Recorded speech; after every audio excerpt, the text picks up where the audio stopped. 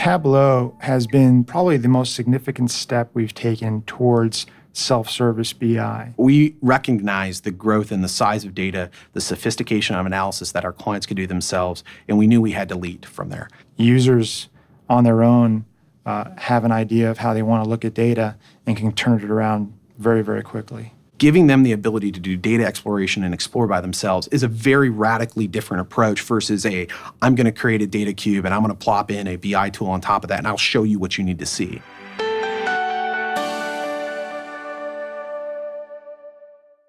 So we found Tableau, and from the moment we were on their website and downloaded the trial version, we thought, okay, we may not be computer people, but we think we can handle this. When they could get to it and they could alter their data and play with their data the way Tableau allows it, that's what really excited folks. The people that have an understanding of the business problem are, are able to get uh, directly in touch with the data and get a sense in what's going on underneath, what's hiding. I see Tableau expanding throughout the organization and becoming that tool that people use to generate their own insights and their own data.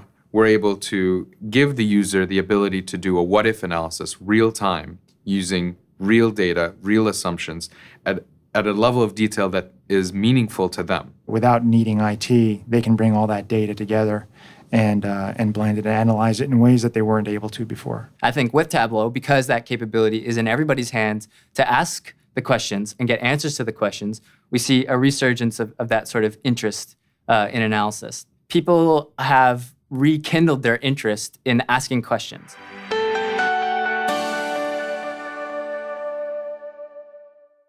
The interesting thing we can do with Tableau is hook up into that massive view that has view users all over the world interacting with the same integrated database, but at their level of detail from their perspective, which is really powerful and something we can't do anywhere else in the organization. If we didn't have Tableau, um, we would spend more of our time working one-on-one with various business people throughout the company, helping them dig into data, drill down, find insights, find problems.